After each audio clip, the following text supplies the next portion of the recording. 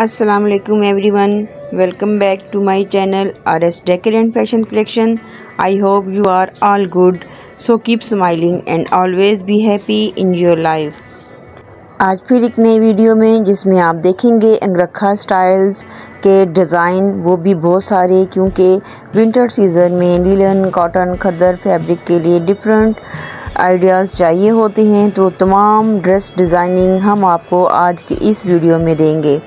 क्योंकि अक्सर और बेहतर ऐसा होता है कि हम कपड़े तो ले चुके होते हैं और हमें ये समझ नहीं आ रहा होता अब इस पर किस तरह की डिज़ाइनिंग की जाए। तो अगर आप अंगरखा स्टाइल्स में डिज़ाइनिंग करवाना चाहते हैं तो इस वीडियो से कोई ना कोई डिज़ाइनिंग आपको पसंद ज़रूर आ जाएगी।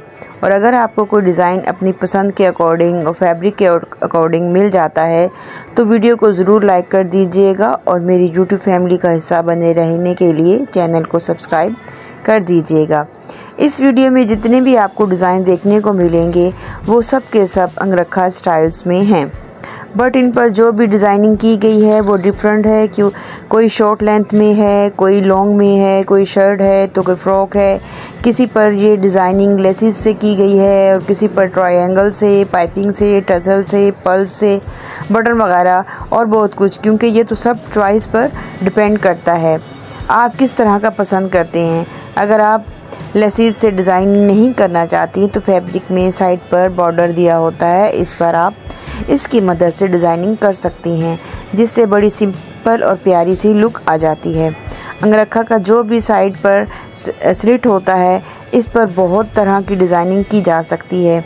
इसके अलावा गले की डिज़ाइनिंग ज़रूरी नहीं कि वी शेप में ही हो, इसमें आप बहुत तरह के गले की डिज़ाइनिंग कर सकती हैं।